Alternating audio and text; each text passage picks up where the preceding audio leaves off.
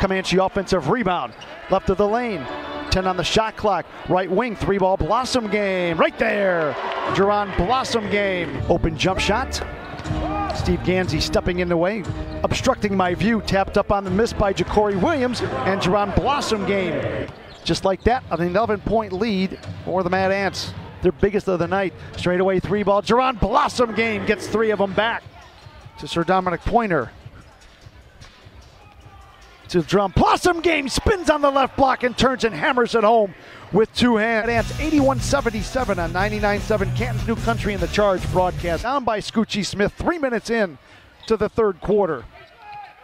Right block, Jaron Blossom game turns around, flips it up, got it to go, and draws the foul. Patience under the basket, let the traffic fly by.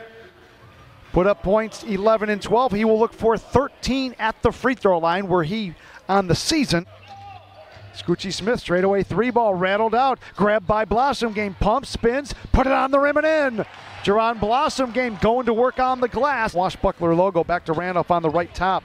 Veers to his left to Blossomgame right top. Going to shoot a three ball short off the rim, but it bounced in.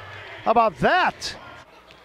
Smith Blossomgame straight away. Another three, another make. This one a lot cleaner than the last one.